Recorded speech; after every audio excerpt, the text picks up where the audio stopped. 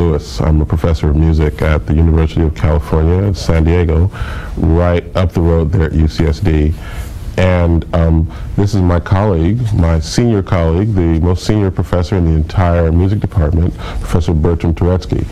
And um, Bertram Turetzky is one of the finest bass players anywhere in the world, a contrabassist who has had more than 300 compositions written for him. 300 composers have written very major works for him. He's, um, he's established new ways of playing the bass. He plays just about every style you can think of. And uh, he would like to talk this morning about creativity, which is something I think we're all interested in here since we're all trying to be creative on our instruments. And I think Professor Turetzky has a lot to say about that, and he's going to also play some examples of the kinds of music he's known, and we wanted to also talk to him about his life as a performer. So if we could welcome him, that would be great. Thank you. So I wanted to ask you, you wanted to talk about creativity. What does mm-hmm. that mean to you? Well, uh, creativity means to me not accepting status quo.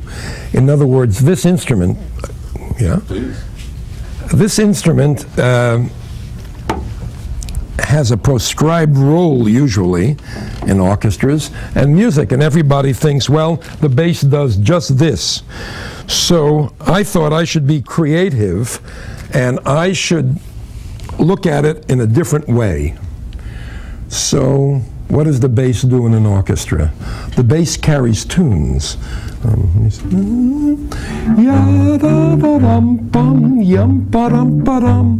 do you think it's fun to play? And you violin players and you cellists and viola players play a melody, and all I do is go zoom, zoom, zoom, zoom. No, I didn't like that. I thought we can do better than that. And the way you do better is reinvent perhaps an instrument, and you say, what else can you do? So you find other ways of, of playing. Symphony orchestras have other things to do. For example, there's an opera Othello, and in the last act there's a murder. And guess who announces musically that there's a murder? Do you know what instrument does it? The ring. No. Me. Listen carefully.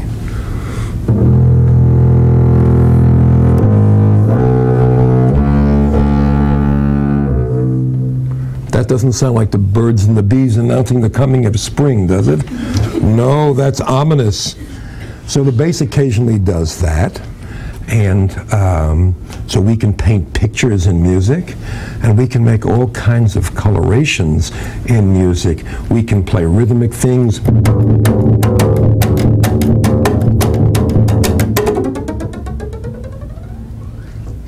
We can do many things so we have to look and we have to figure out things we can do. Now we live in america which is a nation that has people from many parts of the world I call it the salad bowl. We used to call it the melting pot. So listen carefully. Musical instruments are like people. They come in all sizes and all shapes and colors and group together in families. Ladies and gentlemen, they group together in families. Now, the other members of the string family are, come on, you know, because you play one. The violin, excellent. Next, viola, Cello. contrabass. Excellent. So there's a family. So now there's a family of instruments that are like guitars. One of them is called the sitar, and that comes from India. And when I was a young man, and I was a young man once, a few years ago, I heard some Indian musicians play, and they played two instruments at once, so I'll play two instruments at once. Any of you play two instruments at the same time? It's fun. So that's the sound of the tambura. He just plays one note. But then you put the sitar in,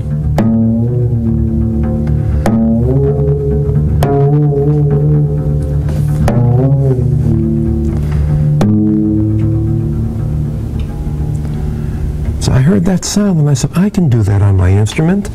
I can do anything I really want to do if I work at it. That's part of being creative. You have an idea and you make it work. Getting an idea and just having an idea is not enough. You have to make it work. And you all know about the guitar. It's the most popular instrument all over the world. So what is pizzicato? Anybody know? Thank you for volunteering.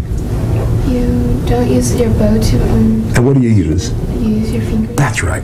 You pluck the strings gently without hurting them, right? The guitar is played with the fingers, so.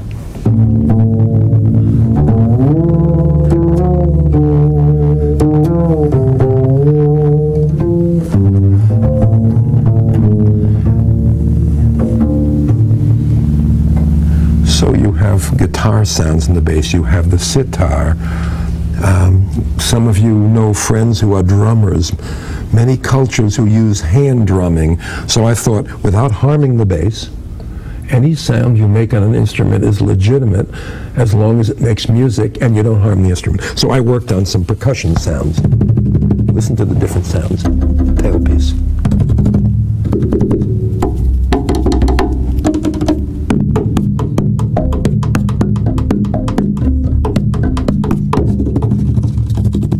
not hurting anything, knocking anything down, not hurting the F hole over here, being very careful. So you can make an instrument be most anything you want it to be. You can play. Um, with the bow, you all know that you have several colors. You have the normal sound.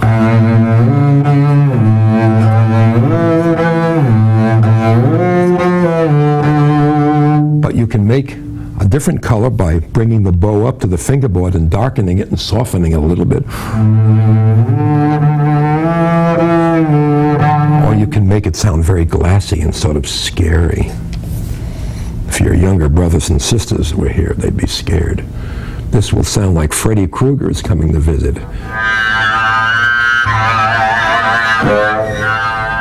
But you're you're older. You're not scared. When I play that for your brothers and sisters, they go woo. That's called sul ponticello. Can you say that with me? Excellent. I So, think that means scary. absolutely. and it means play down near the bridge and it'll sound scary. So that's just a couple of things you can do with the instrument, you know, and just looking at it in a different way. Now, how did you how did you learn a lot of these techniques? How did you how did you do it? Because did you this is part of what creativity is. Yes. How did you Well, I heard a sound in my head, and I said, How can I make that sound? How can I do that? Hmm. And then some people said, Well, you don't do that on a bass. And that made me want to do it. See, I was one of those students, ladies and gentlemen. I was one. If your teacher said, Don't use the third finger, I used it. Otherwise, I was very nice and respectful. But you had did you have the traditional bass education? What was your background in performing? My, I had the traditional education. I have a degree in the instrument and a degree in music history. And I played in symphony, opera, and ballet orchestras for over 20 years, maybe 30. And uh, I thought that I wanted to do more experimentation. I wanted to develop the instrument more. And so I left the orchestra and I began a career as a soloist chamber music player and a professor of music. Before I was a professor, but I played in the symphony and the opera full time. So as a result, for 15, 20 years, I was never home. I was always playing. Never home, really. Very, oh, I was home enough to have a few children around the way, but you know, I was not home too much. So you've played all kinds of music in your Yes. career, yes? You've Yes. played classical music, as That's we've been describing. You played jazz. I mean, what is it, what are the differences between the different, from your standpoint as a performer? What is to play jazz? How is that different from playing um, European classical music? Okay, example? that's a good question. Well, in European classical music, you have stylistic parameters. You're playing Baroque music. There's an approach to playing Baroque music, uh, universally agreed on by most people. Like, what would that sound like, for example? Well, would you say? Yeah, let's see. Uh, let me think of something. Yes.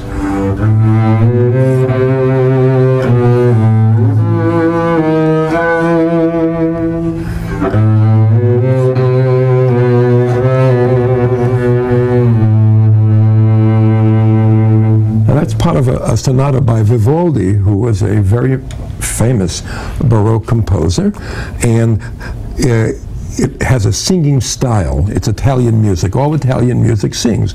So I try to play ya da da dee dee da da da dum, and I heard it that way, and I played.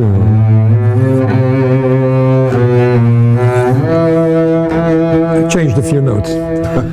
but I tried to see how the voice would go when the line goes up. When you sing, I did it on the bass. And then romantic music came along. The instruments got bigger.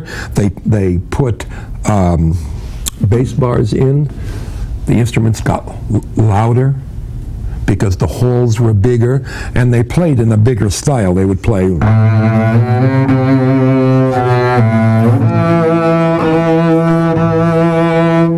Big full sound because you had to reach out in a big hall. Before you played for the nobility, the kings, the queens, the princesses, and all that. And it was a smaller room, maybe like this, and they would invite their friends and uh, neighbors and all that.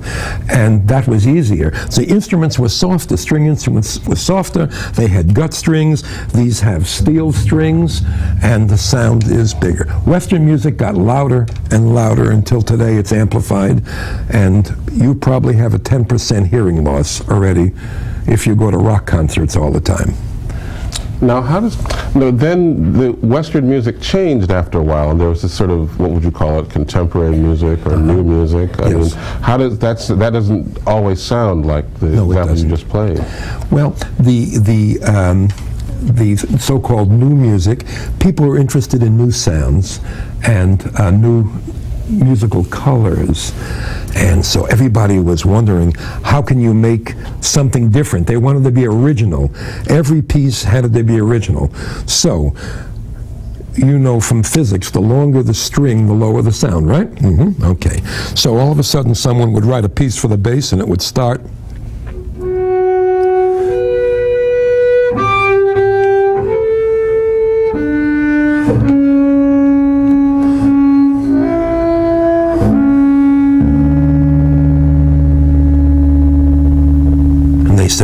We expected, you know, low. All of a sudden we get.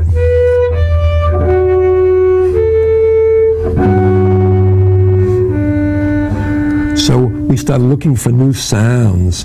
For example, do you know what culture an instrument called the bouzouki comes from?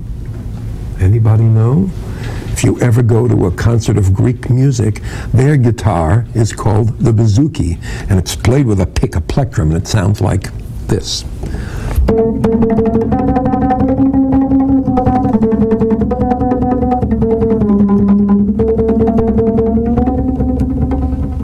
So composer heard that. He said, "Can you do that on the bass, on the cello, on the violin, or the guitar?"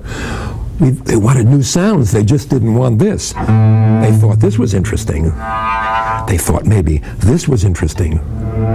That's called col legno tratto. Can you say that with me, please? Tratto means you draw the wood of the bow. It's not much fun for the bow, but the bow doesn't talk, so it can't complain. And then there's col legno battuto, which is and so on, using the wood of the bow. So that was a new sound. And there's what they call the Bartok pizzicato, which is a, a sound that wakes everybody up. But none of you were sleeping. So you pull the string way up and you whack it. And uh, in the folk culture of Eastern Europe, a lot of people play that way. In early jazz music, they played slap bass. So all of a sudden, in new music, they find some sounds that are so old, ladies and gentlemen, that they're new. and we try to we try to find those things, and you all these scary sounds. Then they put it into music because this is a scary world, right? People have weapons and people drop bombs and all kinds of things. So there's sounds that reflect that. Art reflects the time. And in new music, we try to find new ways of playing. Uh, there was a great jazz bass player whose name was Leroy Slam Stewart, and he sang with the bow. So he would go.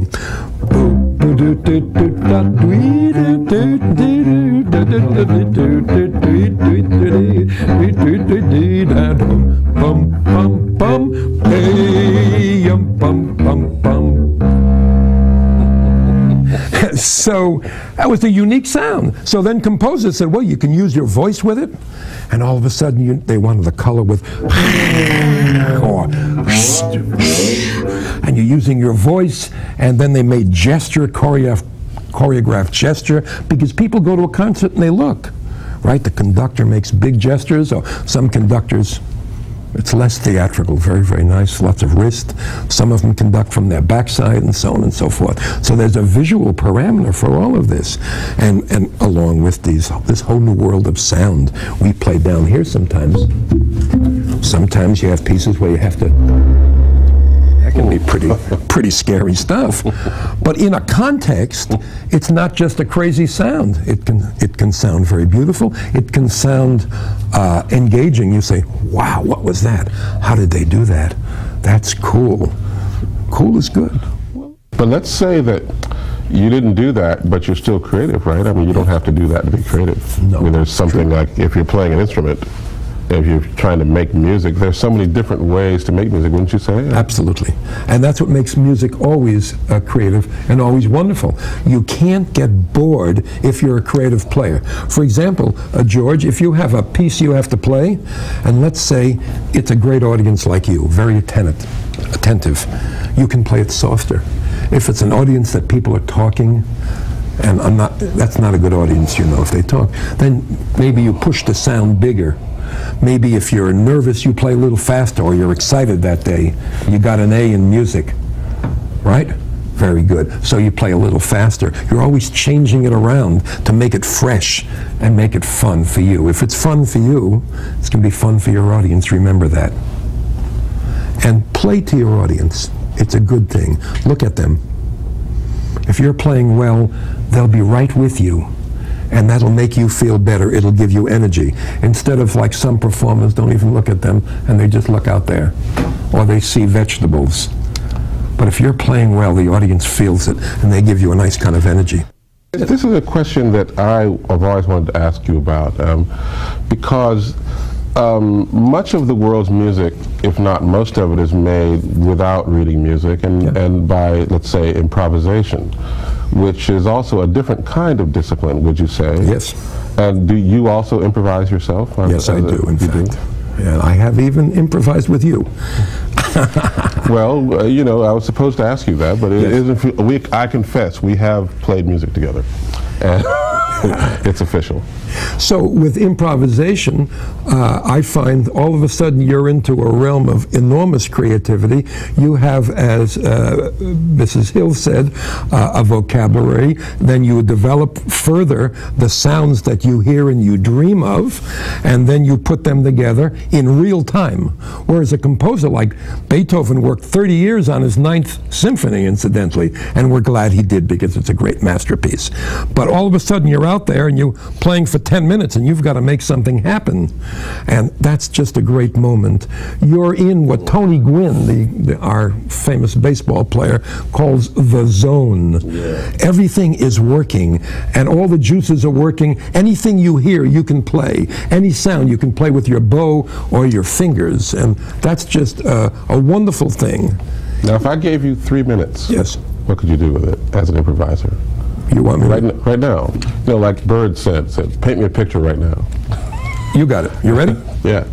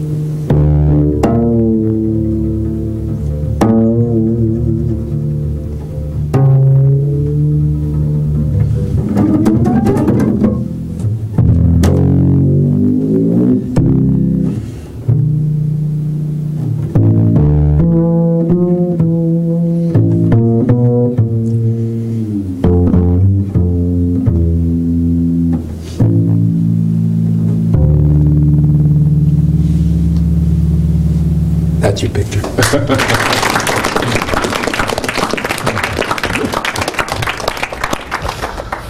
Yes. Can you play Flight of the Bumblebee?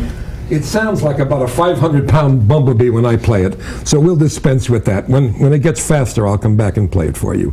There, I know a bass player who played it, but it sounded like it was at least 200 pounds. I'm 500 pounds right now. Yes. Wh- What other instruments do you play? I'm going to tell you the truth, or should I make up something? I'll tell you the truth. When I was a little fellow, I played an instrument called the banjo, which is the American instrument. It was named by Thomas Jefferson. And my mother was from Europe, and she thought I should play the violin. And I didn't want to play the violin, so I read Mark Twain's books, and it always talked about people playing the banjo. So occasionally I take a banjo out. I also play the guitar, and late at night I play the piano, and I accompany my students on the piano. I'm not ready for prime time on the piano, but this instrument I've been in prime time for a while. Yes. How old were, you when you started playing the bass? Uh, I think 14 or 15. Yes, dear. Um, when you started playing the bass, did you enjoy it? Oh, it, music has been my whole life. They say, What's your religion? I say, Music. And music is a way of life. It's not a profession for me. For me. And I love the bass. I have, uh, how at home I have four.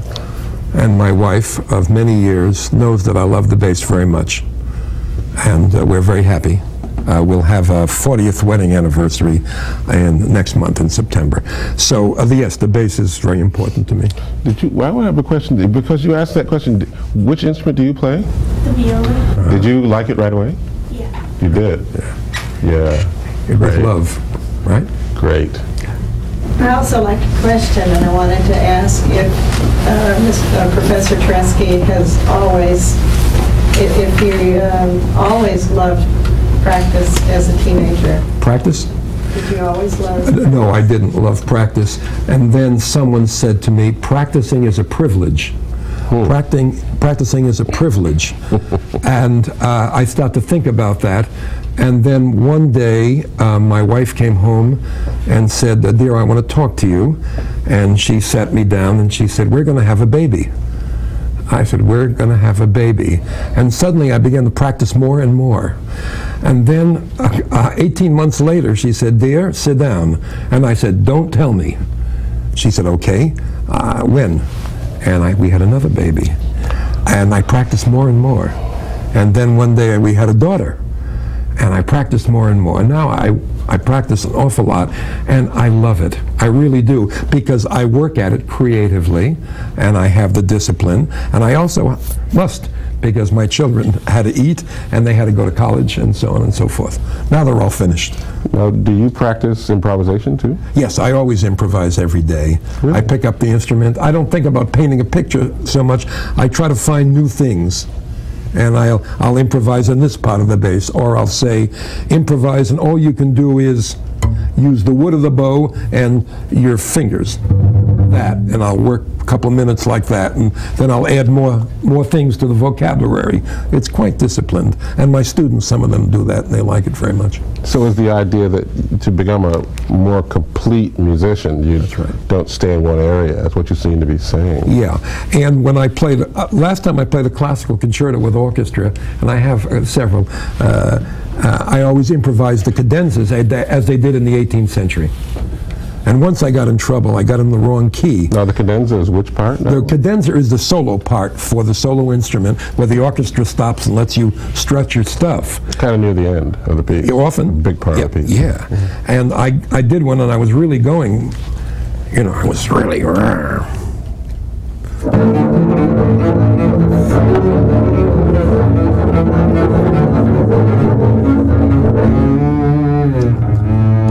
The player said, You're in the wrong key. And I said, Oh my God. And I, I did something very fast, and I got in the right key, and I finished up in a blaze of glory, and everybody thought it was wonderful. And they, they did this, and I was soaking wet, and I lost 10 pounds. I forgot what key I was in because I was improvising. You can get lost. So if you improvise a lot, you don't get lost. If you practice a lot and you pay attention, you don't get lost. If you watch the conductor, you don't get lost. So concentration, creativity, discipline, commitment to the instrument, and it'll all end up in a joyous time. You'll have fun. That sounds great. Please. I mean, Did you like jump from instrument to instrument before you did the bass? No, I played the banjo and I played in a band, a C&W band, don't tell anybody. A C&W band, we were called the Arkansas Travelers. We were all young. All of us had hair, long hair. And then uh, they said, well, the banjo is corny, man. If you want to play in the band, you got to play the guitar. So I got a guitar, I took one lesson, and in a couple of months I was ready to play in the band. I, w- I worked hard. Yeah, but you really know how to play the guitar. Yeah, well, of course for a I did. long time. Yes. and then I wanted to play the bass. I, I, I, when I was 16, I met some great jazz musicians, and I began to play the bass, and they invited me to play with them, and they were very kind and very supportive, like all real teachers are. And uh, they said, okay, we're going to play Saturday night over here. You come and you'll sit in. And then I come and they'd say, well, listen to this, listen to that, listen to this. That sounds good. And I was very privileged at an early age to play with great musicians in the conservatory without walls, as I call it. So, and then I went on playing different musics, and uh, I, I still have a mixed uh, variety, a big variety of musics I play, and I enjoy it very much. Are there other questions? You, you had a question. Um, How long did you play until you were able to play like you can now? Oh, you learn. The good news is it takes a whole lifetime to play, and there's no bad news. okay? Are there other questions? Yes. Do any of your children play instruments? Um, my son played in a rock band, and they didn't get paid a couple times. and he said, Dad, I'm going to go straight. And now he's a, an executive in a big company, and he makes an awful lot of money, and he wears suits. And I call him my son the suit, and I'm proud of him. And he plays drums once in a while, but not professionally. Okay? Yes. Um, how many different rhythms and tunes do you think you created? Oh my goodness, I, I have no idea. I, I created some tunes, but rhythms, I, I don't know if I can take credit for anything like that. I've heard a lot of rhythms because I listen to music a lot, and I've played with all kinds of different musicians. So I really don't know, but it's a good question. It's something I'll think about on my way up north.